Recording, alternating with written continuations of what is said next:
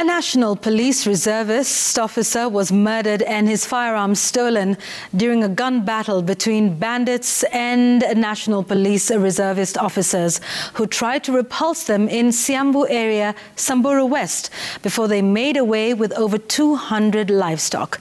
This even as a multi-agency operation in parts of Samburu and five other North Rift counties continues.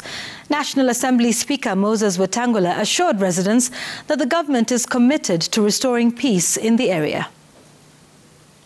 The vast Malaso Valley in Samburu West sub-county remains bandit-prone, with the latest attack happening here. Leo maadui walikuwa wengi, hata ndio wakashinda NPR sababu walikuwa wengi, na ng'ombe zilikuwa hapo ni zaidi ya ng'ombe mia mbili. Mimi nilikuwa kwa shamba, walikuwa na, wanakula nyasi hapo, wakaanza kuvetuana na watu, wakapigana na watu, wakapigana na watu, wakamuua hiyo mtu mmoja wa NPR. The firefight that lasted about an hour also saw the bandits make away with more than 200 head of cattle and a firearm that belonged to the police reservists. Mbia rais kwamba hii, hii, hii operation ya jeshi na polisi inaleta confusion.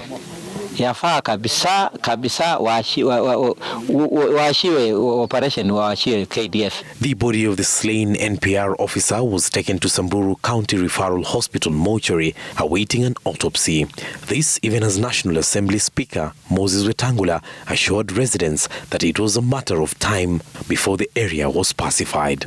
Rais wetu William Samoei Ruto amesema vile ameanza kucharaza majambazi na zile vikozi maalum ambavyo ametuma waziri Kindiki kuja kutembea, atahakikisha mtoto wa Msamburu, mwananchi wa Samburu anaishi kwa amani kama Wakenya wengine mahali pengine.